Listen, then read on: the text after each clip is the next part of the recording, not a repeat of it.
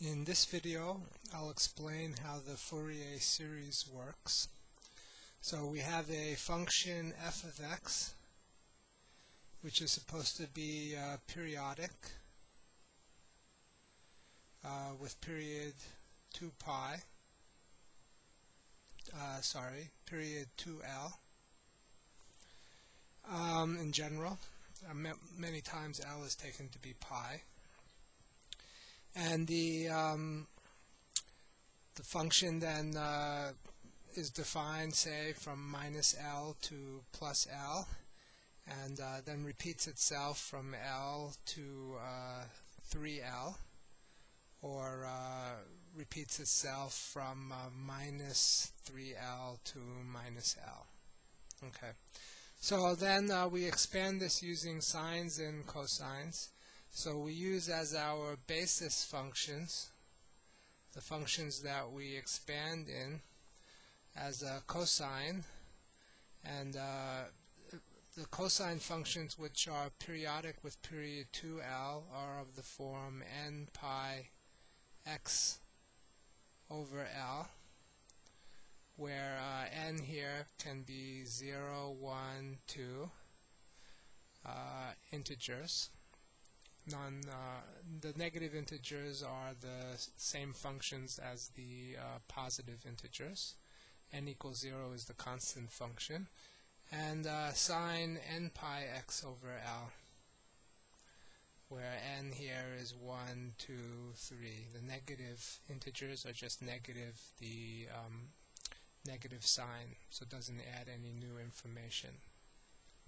And you can see that these functions are uh, periodic with the uh, the smallest period is 2l when uh, n is equal to 1.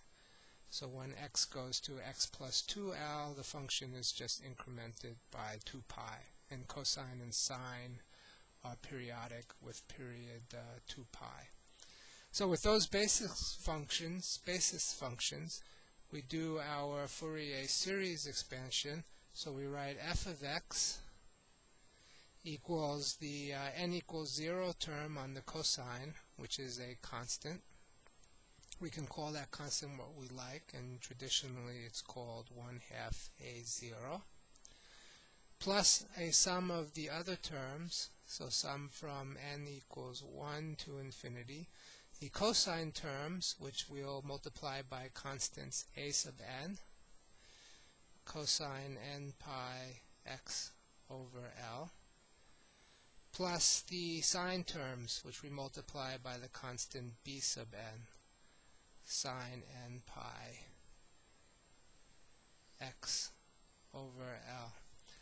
And then that's our Fourier series. So f of x then, uh, with this expansion, is periodic with period 2L.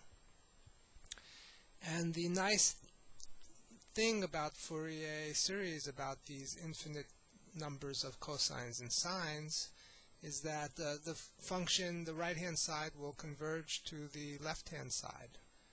Um, the Fourier, these functions are called complete, and uh, there are enough to, to model the function f of x. So how do we determine what these a's are? We need to use the uh, orthogonality relations which are just integral relations of cosines and sines. So uh, we integrate from minus L to L. So the integral from minus L to L, if we consider cosine n pi x over L, and integrate against cosine m pi x over L dx, uh, so here I'm going to have n and m are positive integers. So we won't worry about the case of uh, 0. If we do this integral um, in the usual way that one does a product of cosine integrals, um, what happens is that we'll get 0 if n is not equal to m. And if n is equal to m, we can actually uh, change variables here.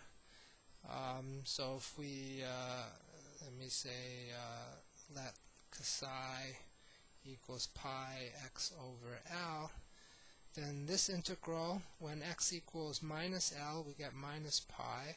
When x equals L, we get pi. So we get some sort of uh, normalized uh, um, dimensionless integral. And um, cosine n pi x over L will become cosine n psi cosine m psi and dx here d psi equals pi over L dx so that um, dx becomes L over pi which I'll put in front d psi so we have this um, dimensionless sort of uh, integral and this one is um, 0 if n is not equal to m and then it becomes a cosine squared over an interval of 2 pi uh, if n is equal to m. So the integral of cosine squared over 2 pi is pi. So if n is equal to m, this integral becomes pi, cancels this pi. So it will be an L, and then it's 0 if n is not equal to m. So we use the Kronecker delta n comma m to um, represent 0 if n and m are not equal and to represent 1 if n equals m. So this is the so-called Kronecker delta. Okay. So that's the first integral. The uh, We're going to use this change of variables here. The second integral is what happens if we integrate sine against sine. Sine n pi x over L sine m pi x over L dx. Again, changing variables, we'll get an integral from minus pi to pi sine n psi sine m psi d psi. And the same uh, feature of the cosine cosine integral applies to the sine sine integral, and this will also be a L delta n comma m. So this is the first relationship. This is the second relationship. And finally, the third orthogonality relationship is what happens if we multiply cosine and sine. So minus L to L cosine n pi x over L sine m pi x over L dx. And these two can be shown to just simply always integrate to 0. Okay. So we have our Fourier series. We have our um, orthogonality relations. Then we can determine the A's and the B's. So let's see how we do that. So we have our Fourier series, f of x is equal to 1 half a naught plus sum from n equals 1 to infinity a sub n cosine n pi x over L plus b sub n sine n pi x over L. And let's say we want to find a sub n. So to find a sub n, we isolate this by multiplying by cosine. Okay, so we'll have the integral from minus L to L f of x times cosine n pi x over L dx. And um, when we do this, we have to consider uh, changing this dummy variable n to m so we don't get confused because we're using n here. And then we're integrating against um, 1 half a naught. So we have the integral from minus L to L cosine n pi x over L dx. Plus we switch the summation sign with the integral sign. So here I change the dummy variable to m instead of n. and then we have an a sub m, the integral from minus L to L, cosine m pi x over L, cosine n pi x over L dx, plus b sub m, the integral from minus L to L, sine m pi x over L cosine n pi x over L dx. Okay, so that's inside the summation sign. Now, uh, there are two cases that we need to consider. The first case is n equals 0. If n is equal to 0, then cosine n pi x over L becomes 1. So this integral becomes 2L and the 2 cancels the 1 half. So we get L A 0. And then uh, n is equal to 0 here. So we have an integral of cosine m pi x over L. m is not 0. It's 1 to infinity. So this is an integral over a cosine, which will be 0, because the cosine is periodic with equal positive and negative parts. This will be an integral over sine, which will also be 0. So we get LA naught if n is equal to 0.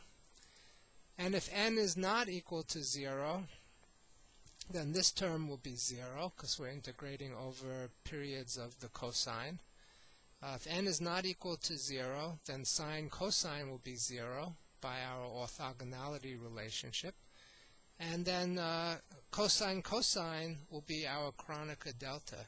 So this will give us the sum from m equals 1 to infinity, a sub m, and this will give us our L times our Kronecker delta of m comma n.